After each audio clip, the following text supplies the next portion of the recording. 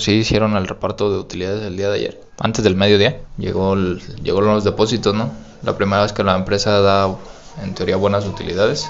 Y lo que pasó después es que, como eso es las 6 de la tarde, mandan otro correo diciendo que se equivocaron, que hubo un excedente en los depósitos por error humano y que van a comenzar con los descuentos.